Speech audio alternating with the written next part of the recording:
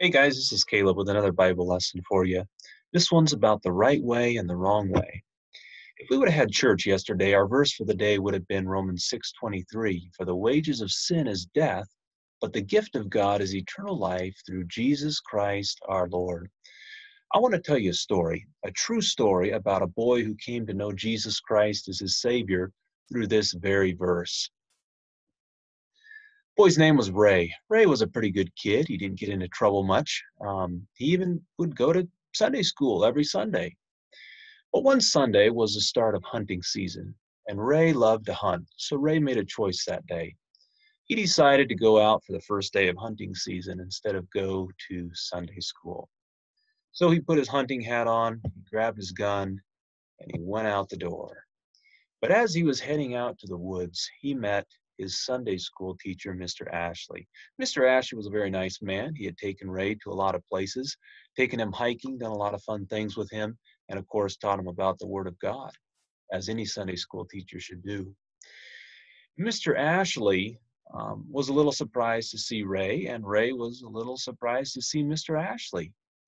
Mr. Ashley just asked Ray a simple question when he saw him. He said, Ray, aren't you going the wrong way this morning? Hmm. Wasn't exactly the question that Ray wanted to hear. He said, "Well, Mr. Ashley, it's the first day of the hunting season, and uh, I I, I want to get out there. I want to I want to get something, and uh, I don't think it's so bad to miss Sunday school once in a while. It's not a sin." Mr. Ashley gave a good answer. He said, "Ray, going your way instead of God's way is sin." And don't forget that the wages of sin is death. So Mr. Ashley went his way to church, and Ray went his way out to the woods. Ray was thinking about that for a little while. He wasn't real happy about what Mr. Ashley said to him. He thought to himself, he's just trying to ruin my fun. Besides, what's wrong with hunting? It's not a sin. Ray went out to the woods and found that hunting was a little scarce that day there really wasn't a whole lot to hunt. But he was out there, so he stuck around there for the whole day, walking around trying to find something to hunt. Eventually, it started getting darker, and Ray realized that he didn't really know where he was in the woods.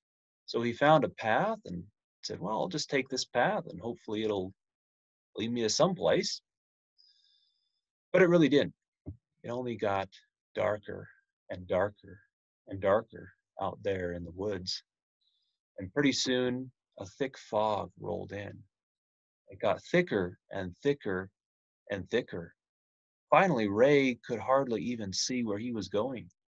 And he said to himself, I'd better stop. Just then, he took a step and he plunged into a pit ground. Pretty long fall, pretty deep fall. And when he went to the bottom, when he hit the bottom, he was pretty badly injured. He found himself in quite a bit of pain. He had a broken ankle, probably a broken back too, and he couldn't move at all. All he could do was cry out for help, but he was out in the middle of nowhere in the woods.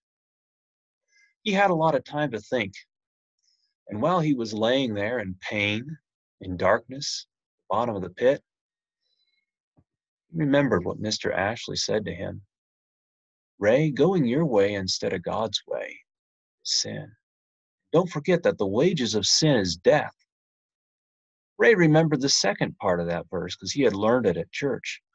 The wages of sin is death, but the gift of God is eternal life in Jesus Christ our Lord.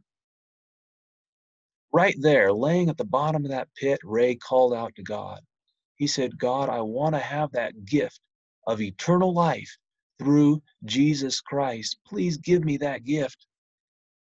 Then, right there, amid all that fear, amid all that worry, Ray felt a strong feeling of peace come over him. You know why? Because Jesus Christ just came into his heart. Well, eventually, some people came along and pulled Ray out of that pit, but it wasn't until the next morning. Ray spent the whole night in that pit. Thankfully, God spared his life. He was still alive. And what's more is he now knew Jesus Christ as his Savior, but he still had some bad injuries, so he had to go to the hospital. and uh, it took him a little while to heal up, but he ended up making it okay. And while he was there, he got a visit from none other than Mr. Ashley. Mr. Ashley, his Sunday school teacher, was pretty happy to see that Ray was not only healed up in his body, but he was healed up in his heart. Why? Because Jesus Christ and the blood that was shed on Calvary's cross cleansed Ray of sin, washed his heart free from sin. Ray now had a new favorite book. It was called the Bible. And in the Bible, he had a favorite verse. The verse was this Romans 6:23 For the wages of sin is death, but the gift of God is eternal life in Jesus Christ our Lord.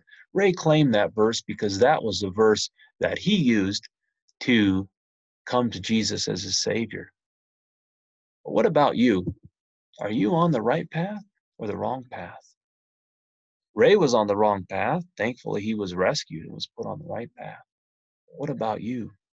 Why don't you take some few quiet moments to think about that question? Think about what path you're on. You know, we're not here to say that if you make a wrong choice, something horrible is going to happen to you. That's that's not what we're saying. But like Ray found out, going your way instead of God's way is sin. And you know, the Word of God says that there's a way that seems right to a man, but the end thereof are the ways of death. Jesus said, I am the way, the truth, and the life. Which way are you on? Well, thanks for listening to this little lesson, and hopefully we'll have another one for you guys before too long. Stay safe and have a happy Easter.